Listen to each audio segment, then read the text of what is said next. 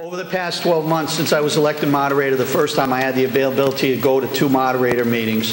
The first three uh, articles that we discussed this evening are housekeeping articles, a- and truly, it would be an atrocity for the town not to support spending Chapter 90 monies to, to do the, take care of your roads, or to get the monies from the um, uh, grants and not spend it the right way.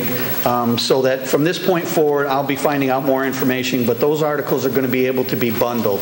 Therefore, we'll be able to have one motion, tie all three articles into the same. We have 22 articles tonight, so it's not quite as big a deal as sometimes, but last year in Springtown meeting, we had 38 articles, and we were very concerned about making sure we got through the meeting, just for the future, and and so you don't hear it for the first time next year as we sit here.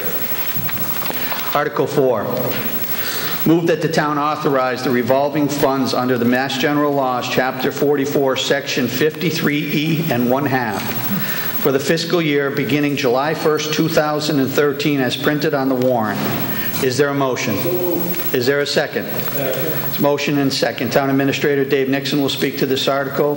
The Finance Committee recommends this article 3 to 0, and the Select Board recommends it 4 to 0. Mr. Nixon. Good evening. Uh, This is, uh, this is the eighth year that we've done this particular article. It's uh, now become a housekeeping issue. It sets up six revolving funds t- so that we can provide public services using user fees, rental incomes, and other kinds of payments that don't affect the tax rate. This sets up six revolving accounts to handle electrical inspections, cemetery burials, repairs to the Russell School building, recycling payments, dog control, and park and recreation programs.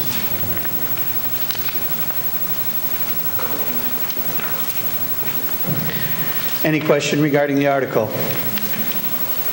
Seeing none, I'm sorry, Willie, I'm sorry. To the microphone, sir? To the microphone, sir.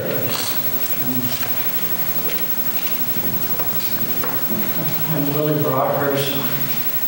You know me as Willie, my real name's Randall. I would notice some of the property of which the town controls has to repair.